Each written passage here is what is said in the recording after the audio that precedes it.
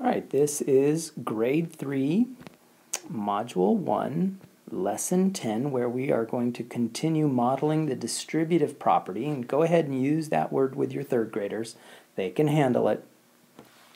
And we're going to model the distributive property using arrays to make a big problem like 8 times 3 into a smaller problem like 4 times 3 plus another 4 times 3. And this is going to be how we build fluency and how we help kids understand how to find their answer if they can't immediately recall it from memory. So as an example, before we move on, we see this array, and you can see that it's a 7 times 3 array because we have 7 rows of 3.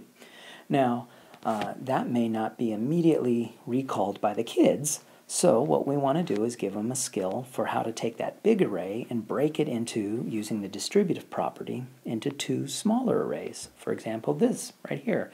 I could take that 7 by 3 and turn it into a 5 by 3, that's this section up here, plus a 2 by 3, and that's this section down here. And that way, students might say, oh, that's 15 plus 6, which is 21. Therefore, 7 times 3 is 21. So that's where we're leading kids towards in this lesson.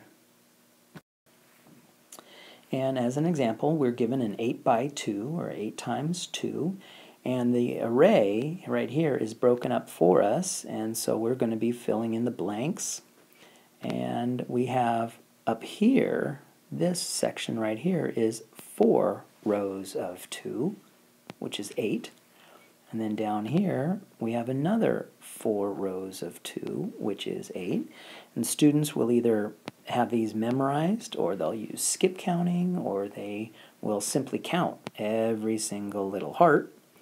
And then, down below, 4 times 2 plus 4 times 2 is 8 plus 8.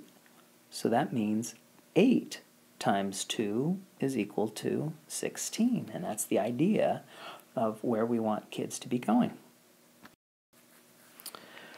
So here, Adriana is organizing her books on shelves, and she puts three books in each row. So our, we know that our array is going to have three books going across in each row. And down here, it says that in this top array, we have 15 books total.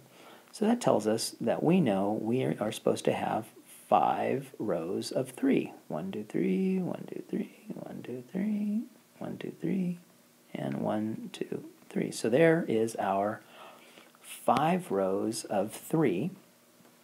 And we know down here, this says that she has three books total, and we know there's supposed to be three books in each row, so that means there's just one row.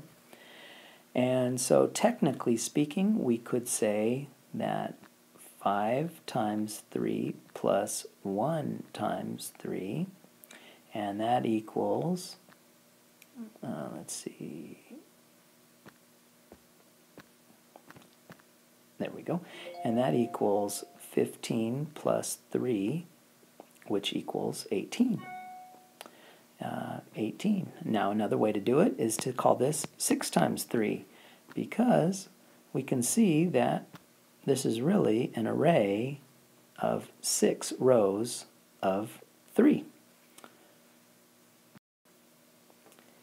And that is lesson 10, super important, where we're really getting the kids familiar with the distributive property.